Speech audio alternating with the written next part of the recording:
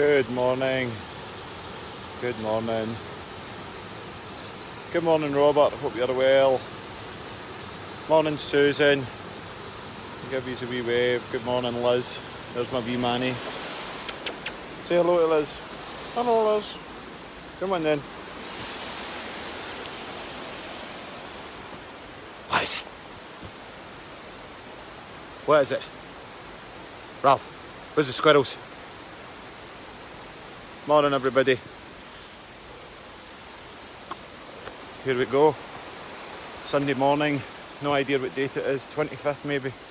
That was a guess. Maybe I won, maybe I didn't. Um, where are we? We are follow 12, part 7. So let me think. We have done the ordinary world. We've done we're hearing somewhere inside us in a distant voice a call to adventure. We refuse the call. We meet the mentor. We cross the, we crossed the threshold. We've done that. We've done that. So where we're at now is, well, partly yesterday, which I didn't really explain that effectively. I don't know how to do such fancy stuff like waving hands here. Oh, that's funny. So, atonement and atonement could be uh, this is where we start to accept the shadow self. In some myths, it's atonement to the father because the father's had such um, a bearing influence in our development, be that while he was present or indeed absent. So, as we start to recognize all those shadow aspects in ourselves, like a lot of shadow aspects could be something along the lines of uh, for example a projection I could give is oh there's somebody copying my work. But even these is the work of Joseph Campbell. You know this is the hero's journey and it's the 12 steps. So and I've just put my flavour on it.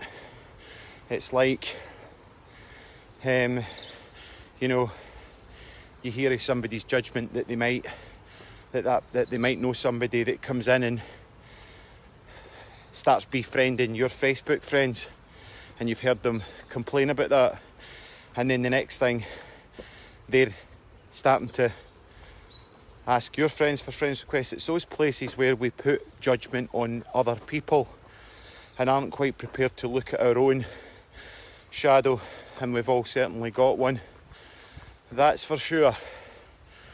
And so we move from atonement into what's called apiosis. Apiosis. And apiosis is sort of like what we would describe in the 12 step process is step one, which is accepting that you're powerless over alcohol, accepting that you're powerless over drugs, accepting that you're powerless over your current situation. And what comes with apiosis is it's always a death and rebirth story. This is this is definitely one of my favourites. I love it. I love how the fact that we're constantly dying and having to be reborn. We're constantly dying and having to be reborn. Now, you know, our cells are doing that every every other day, and then we have a major transition every seven years biologically we're constantly dying and we're constantly being reborn. And I guess what I said yesterday, which was a quote from Nietzsche, was a snake that is not prepared to shed its skin will surely perish. Now, um, you know, yesterday my atonement, atonement with the father, it doesn't necessarily have to be your biological father. It could be an atonement with, so for an example, uh, it was the church for me. I went to a Christian, Christian religious secondary school. It absolutely warped my thinking about Christianity. And I blame Christianity, oh, it's a pile of crap, it's a load of rubbish, right? 2010, I found my way into a particular church in Lanark. The minister's pretty left wing. I dig the way that he was saying stuff. Now, I don't agree with everything he says. Um, I don't agree with everything he says, but that's okay. He's allowed to say it because that's his opinion. But whatever it was, I'm not going to be negative about my minister there. Well, I am, but I'm saying that his words and the way that he delivered the Bible allowed me to look at Christianity through a different lens. Um, So I had an atonement there. And then once you've had an atonement, you can then have a move into apotheosis, which is a death. So a death of an old way of thinking, which was primarily blaming my secondary school religious education as being a pile of pants and actually looking at it through a new lens. But the old self that was so hell bent, so hell bent in blaming the external, wasn't able to give that a chance, right? So this is where, in um, some ways, because we're so in the last step, atonement. Well, that's where you're identifying that you've got an ego and an ego only allows you to really see the world from a two stroke three dimensional perspective, right? So, in order for us to then move into apotheosis, the death that I perceive it to be is always an egonic death. It's always an it's always a death of the ego, or because the, the, the ego has placed meaning on so many things that validates our experience of it, which then when we're proven wrong by our thinking that this maybe isn't the best way to manage our life situation, then when we have the realization that there's another way out there, um, it's like a death of the ego. So, like uh, yesterday, yesterday I wasn't really feeling that on it. wasn't I wasn't on the ball. and That's okay. Uh, back on the ball today, feeling feeling fine. But yesterday I was uh, down collecting some groceries and I met two guys that I knew, not very well, but I knew them from my past.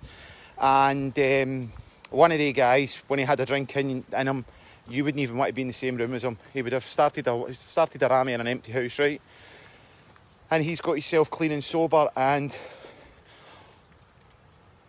all that defines him of who he was then is the tattoos that he has because those tattoos were aligned with the personality that he was portraying when he was actively in addiction. And now he's in sobriety. There's a childlikeness about him, there's a kindness. Uh, he's engaging, a really nice fella, really decent guy. And uh, he would even admit it, he would even admit it himself that the regrets that he's got and the scars that he has are the tattoos of his past. The other guy, similarly, um, we'll no talk about what he was involved in, but he was involved in a bit of naughtiness. And he's turned his life around and he's coaching kids with boxing and all that now. And I met him, another absolute delight of a guy, brilliant guy. Now, in order for them to get to where they are, comparison to where they had been, there had to be a death. There had to be a death of an old personality that was no longer serving them. And it really can feel like a death. And to give you concrete examples of step 10 here, apotheosis, because we would depict it more simply in art and symbolism and meaning. Uh, symbolism of this would be the phoenix uh, rising from the ashes. The old self has to die for the new self to be formed. So much so that even friends that you knew from the past don't even recognise you any longer because there's been such a significant difference in you uh, Christ and the crucifixion. That's a story of death.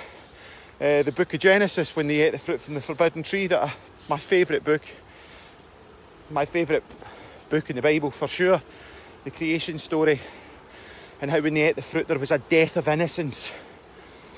And uh, that's in Genesis chapter 3, Genesis 22.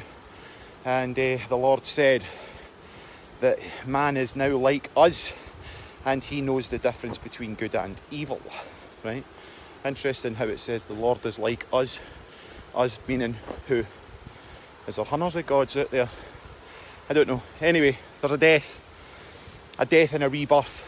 So you're in a relationship that's not working, then if you're going to move into a new way of being, that old way of being has to go. If you're grumpy, if you've always done what you've always, if you've always done what you've always done, you'll always get what you've always gotten, right? And the definition of insanity is doing the same thing over and over again and expecting a different result. So if you're out there and you're going in and the way that you're acting towards your wife or husband or kids and the response that you're getting, try a different way of being. right? Try something different, try a different approach. But top of the morning to you. Where is lockdown? Where is lockdown? David Harvey, my man. Hi man, how are you doing?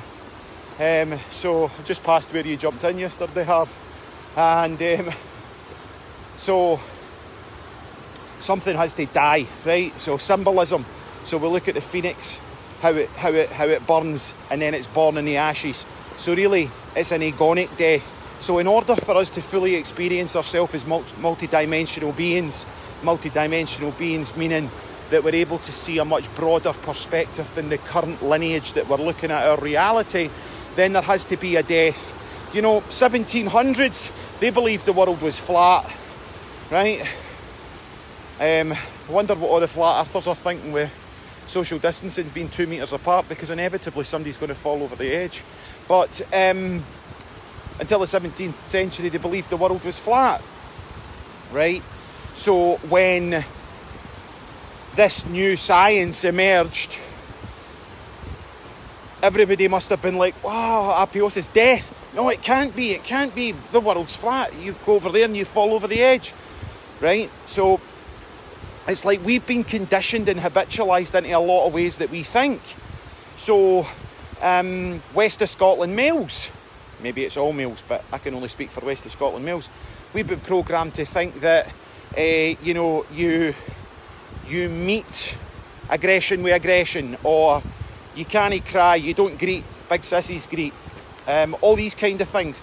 When in actual fact, when you get into talking about your atonement, or indeed the step before, atonement with the Father, forgiving, forgiving and acceptance, and a lot of surrendering, it's undoubted that you're going to have a cathartic moment. You're going to have a moment of emotion. Now, in order to in order to experience that, there has to be a death of the ego that's been keeping you safe through. I do not process emotions. You know, I don't do emotions, right? So, this step is around about looking at what's not working for you, right? Entering into the cave because what fears you most is your biggest gift is in there. If you've got the courage to go into the cave and re, re grab the treasure, right? Atone with the Father. And moving into this step, which is apotheosis, which is death and new beginnings, right? And maybe some of you are there right now with this lockdown. Uh, maybe some of you are starting to, the lockdown's getting so much to you that you're starting to realise and think outside the box that there might be another way. There's always another way.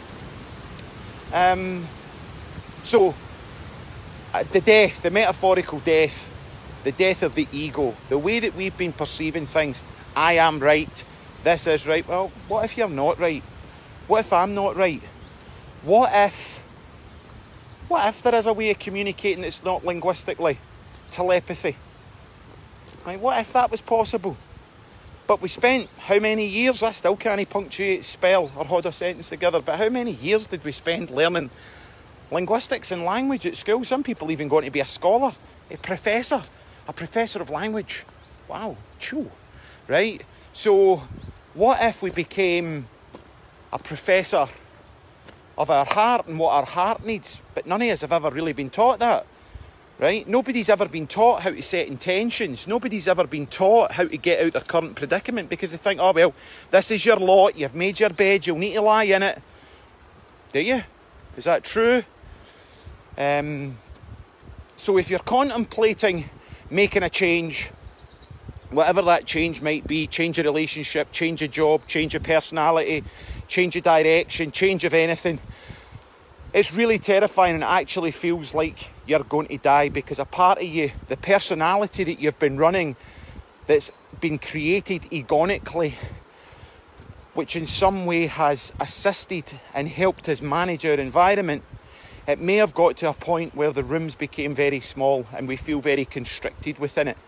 So if we're looking to make a, a change, moving country, changing where we live, changing the way our relationship, changing our relationship, changing whatever it is about ourselves, The only best way that I know of is through symbolism and art, which is the phoenix in the ash, phoenix rising for the ashes, Christ in his crucifixion.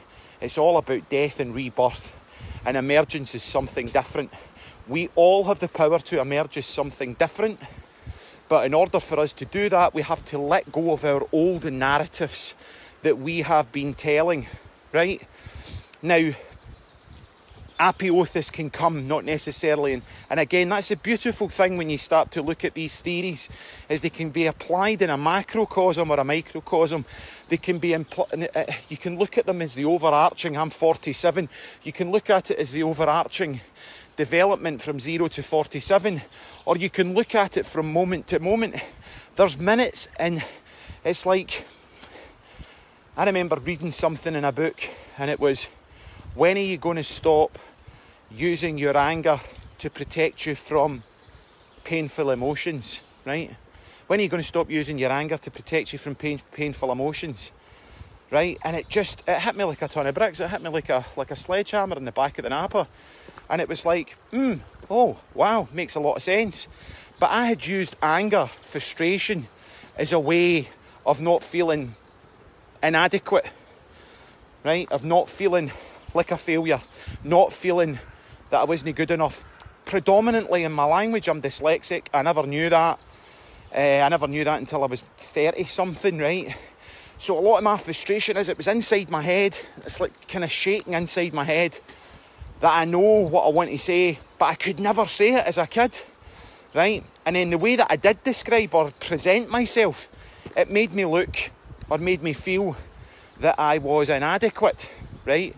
So any time that I um, feel inadequate, the big brother anger anger cloak, big brother protection guy comes to the rescue. I mean, man, we're not going to let you feel that, right?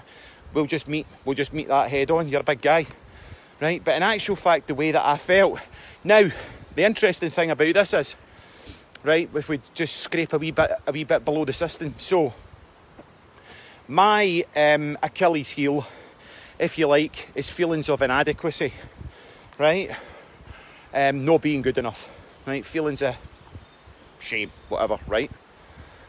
Um, felt that I wasn't perhaps deserving, right? Now, I kind of knew that, and I'd kind of worked through that that was some of the reasons that in my past I had used drugs and alcohol, right? I kind of knew it, but there's layers and levels to it, right? So, because that was how I was feeling about myself inside, I was feeling inadequate, right? there were then these people that would appear on my stage of life that would actually tell me how not good enough I was, right? I actually had a relationship, and the father of the daughter came up and said to me, You're not good enough for my daughter. Wow, really? Wow, that's tripped out. You're a good guy. Anyway, let's not go into him.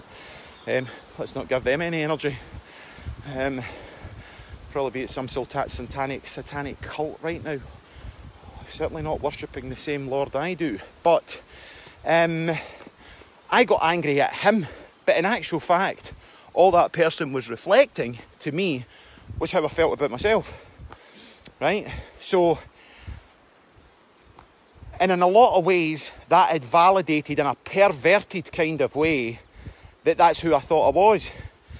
But when you start to work on it and you start to burn your way through it, and you realise that you are good enough and you're as good as anybody else, and I have got as much right, and you have got as much right as anybody else to breathe this beautiful air and be part of the world.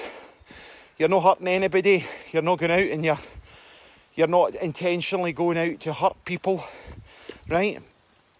You've let go of competition, greed, and we've used those narratives in order to stay. So when I moved into a more authentic, that's that bit cheesy word authentic, no. Um, I moved into a new way of believing it myself that I'm actually different, but not lesser. I'm not.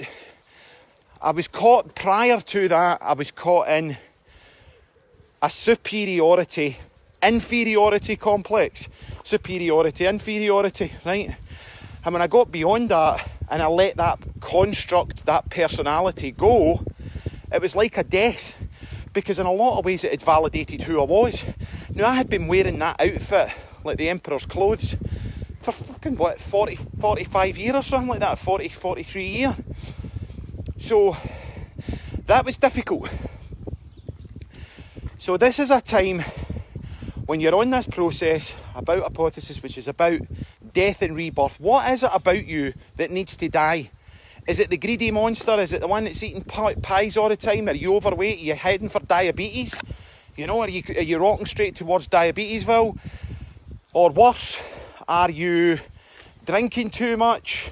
And that's your, that's, it's habitualized. You know, even if you're not getting drunk all the time, if you're drinking every day,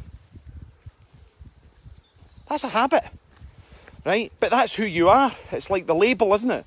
It was like my sister and I. My sister's hilarious, right? Um, here I go storytelling again. I was on the phone to my sister the other night there on face, FaceTime. Me, me and my two sisters were having a FaceTime, right? And my sister Sarah's like that. Here's lockdown in the East End of Glasgow, right?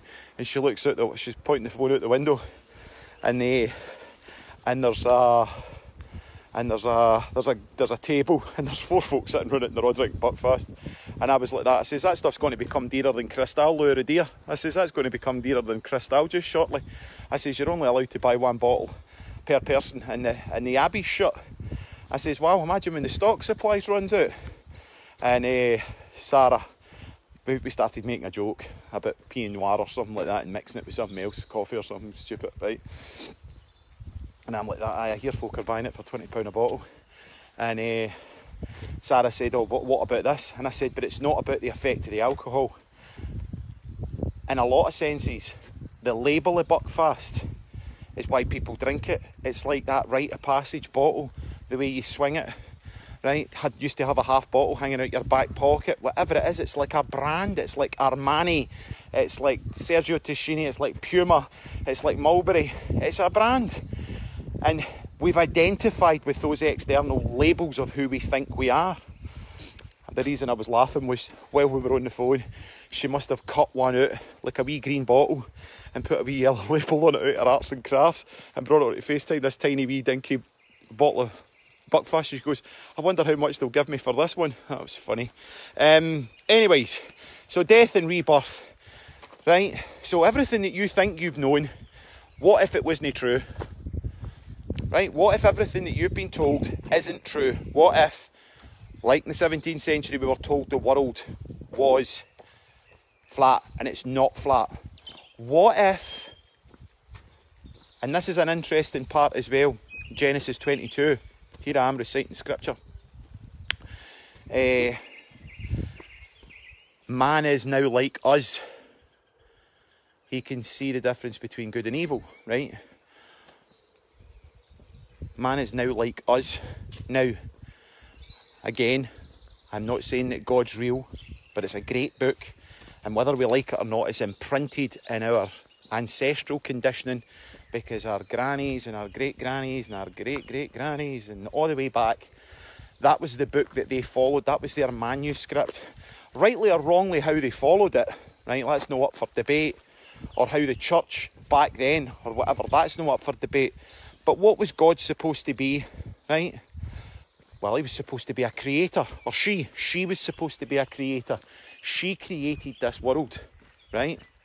And God made man in his image after our likeness. What if, and we didn't know it, that we could create any reality that we chose to create? What if that? What if that was true? What if this reality that you've been playing and you're stuck on channel Buckfast, channel whatever, channel joiner, channel this is who I am, channel, you know, I'm a fine one to talk, you know, I've wore, I find it really funny, but I've wore Ralph Lauren shirts and Timberland boat shoes for nearly 35 35 years. When my mum and dad first went to America on holiday and they brought me them back, I was about 13 or 14 and I've wore Timberland boat shoes and Ralph Lauren shirts for 35 years. That's my label, that's who I think I am. Right? I would like to be different, but I'd need to be five stone lighter for the image that I see myself internally as. We've all got that. We've all got that internal image, right? So, what if we have the capacity through the correct intention, which we're going to go in and talk about, which is step 11 and step 12, right? So, in this particular step, we go back to step one of the 12 step process of the fellowship. It's acceptance and surrender. We have to accept that our life, the way it is, might not be real, it might not be true, right? And that you can create whatever vortex of reality that you choose to create through create, uh, through intention and feeling, right? So get up as if your prayers have already been answered. Start living your life as if it's already occurred. Start feeling it. Start. What would it feel like? Like, oh, I'll wait until I've got that before I do that. I just feel it now. What would it feel like? What would it feel like to be that? Good morning. How are you? Aye, super. Wonderful morning, isn't it? Yeah. Beautiful.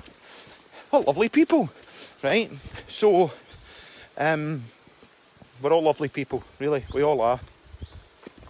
Remember, that which you judge is you. So, anybody you're judging, use it as a big mirror to look in and lift all those judgments that you have in yourself. So, here, boom. What if life was a big, super sized plasma screen TV You've got a remote control in front of you, and you can change the channel and do whatever you want to be. It's like we've got a show in the UK here, um, Stars in Your Eyes or something like that. Matthew Kelly, and you, because you, you know tonight, Matthew, I'm going to be right now. If you can't sing, you're not going to be the next Marti Pellow, right? So get that out your ideas, right? And if you can't do maths, you're not going to be an astronaut. So get that out your get that out your head, right? Just deal with the pain right now. There's the tissues. Have a great. You're not going to be an astronaut, right? But within your capabilities, right, you could change your view. So I've got a wee, a wee guy that was a he's a bricklayer, right? He's been a bricklayer for he left school. I went to primary school with him. I'm fond of him.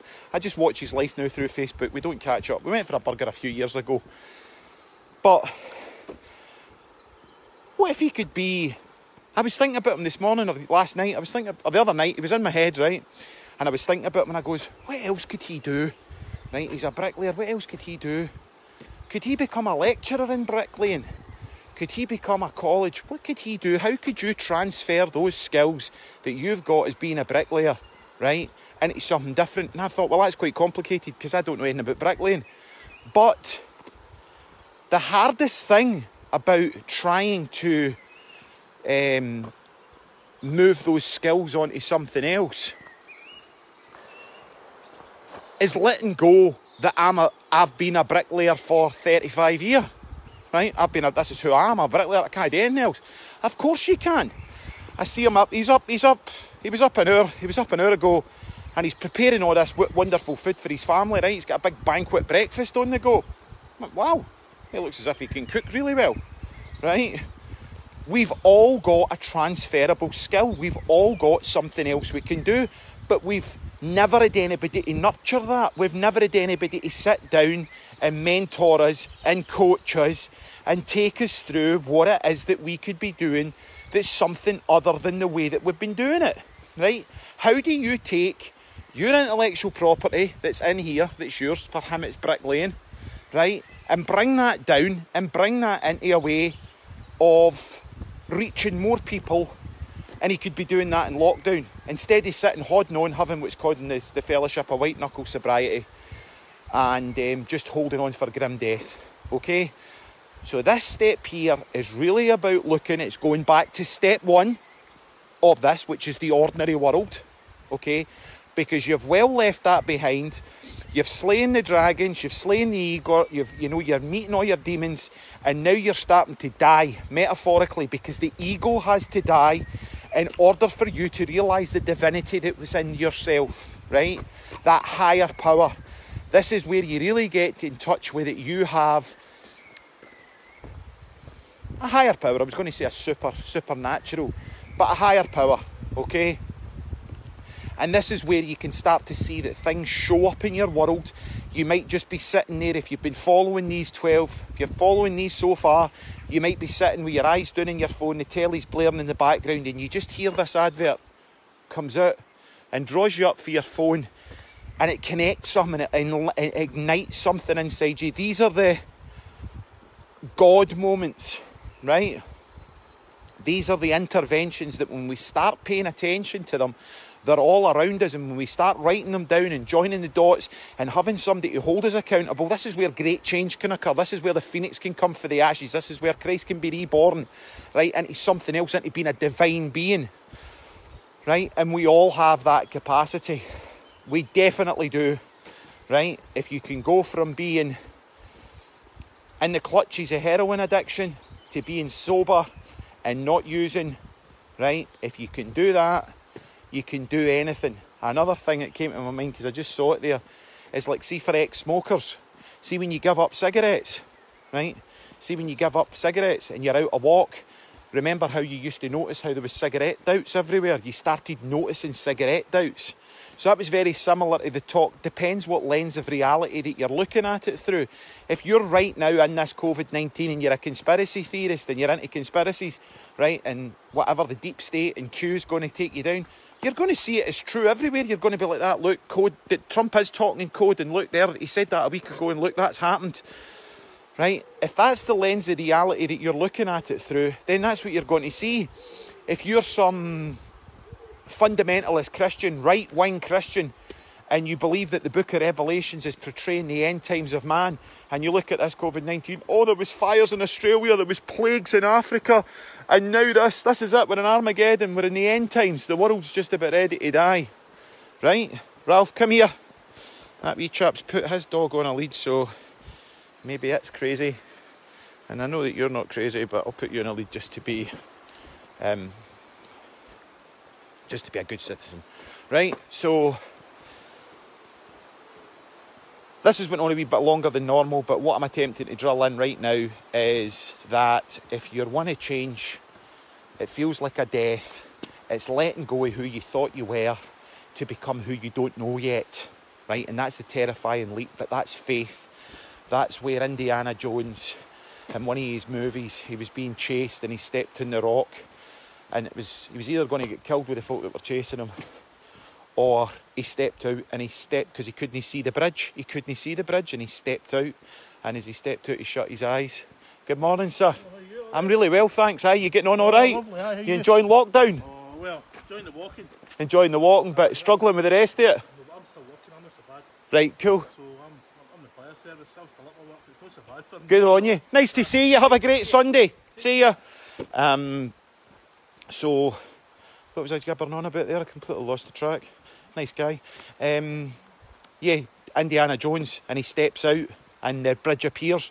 So, see until you step out of your current paradigm and take a step towards a new, a new way of being, you're never going to know if there's a bridge there, right? But there's another passage in the Bible. This is my favourite passage in the Bible. They're all my favourites, but this is an absolute cracker. Let your yes be yes and your no be no, because anything in, bet- anything in between is that of the evil one, right? See if you could go, I'm going for this. 100% yes. And there's no doubt, because see, doubt, that's a crack that lets the, the, the, the evil in. The evil is, oh, should I have done that? Is this going to be all right? Are we going to have enough money? Is this going to be all right? Is that going to happen? Right? And then we get plagued with doubt. See if you've got any doubt. You're as well just no bother, right? Let your yes be yes and your no be no. Do you want to go there? No. Do you want to come out the night? No. And then don't sit there and watch them on Facebook Live and they're all partying and having a great time and think, oh, I should have went to that. Oh no, and then torture yourself. Right? If your yes is yes, let it be yes. If your no is no, let it be no. And start stepping towards whatever it is that you think that you could do that's a transferable skill to what you've got because what you've been getting, if you've been watching this and you're going through these and people are messaging me, I know there's at least half a dozen of you that are walking through these steps, right? You're not doing that because you're comfortable in your ordinary world, which was step one. So there's a massive amount. This is where step one of the fellowship, the 12 step process comes in. There's a massive amount of acceptance and surrendering for this to be done. In order for you to take that shift, right? If you've not got a relationship and you're looking for a relationship, what is it about you that doesn't want love? What is it because it's going to make you vulnerable? Right? Then you start telling yourself you're no lovable or you're no good looking. It's nothing to do with how you look. There's a Jack for every Jill, right? There's a Jill for every Jack. There's a reason why you've got it the way it is. Don't complain and moan about it. That means you need to go into the cave and you need to find what's holding you back for the relationship. Clear it up and watch what happens. You'll be in a relationship within a few weeks. In fact, you'll have loads. So, have a fantastic Sunday. And in my case, I call it ego growing, not death, like a flower. She's looking completely different growing the growing with me. Oh, that's beautiful. Sharon, doubt is hard. I love how you explain it. Right, listen, everybody, have a fantastic Sunday. I am, my wee buddy is on 11 days of a juice diet, right? A wee guy I know is 11 days in. It's not a diet, it's a cleanse. He's 11 days in. He's just, he's just got such grit, this wee guy. And um, he's on 11 days of a juice cleanse. And I was on the phone to him last night to see how he was getting on. He struggles with his mental health like the rest of us. And um, he's doing this juice cleanse because it just it just works for him. And uh, he was like that, you know, I bought seven days worth of juice or what have you, but I've been having an extra juice every day. So I've got to tomorrow and he says I'm running out of juices and that's where I crumble. So I was like, right, are you, are you going to be a, are you going down to work? And he said, aye, I'll be working tomorrow. I says, I'll tell you what I'm going to do then. I'll go and run up to I'll go and run up to Tesco's this morning and I'll buy all the stuff and I'll make you a juice so that he doesn't crumble so he can keep on going. So I'm going up to make him, he's getting uh, apple, cucumber and mint and I'm going to make him up two litres of that and I'm going to just drop that off and leave that in a bag at his work and he can have that so that he doesn't crumble. So I'm looking forward to doing that for him and I'm sure he'll be looking forward to receiving it. So I hope you all have a fantastic Sunday. And if you're following the 12, we've only got a couple more to go. And um, keep on it. Have a great Sunday. Super solid. Have a have a great day. Thanks for your help. Thank you. Bye.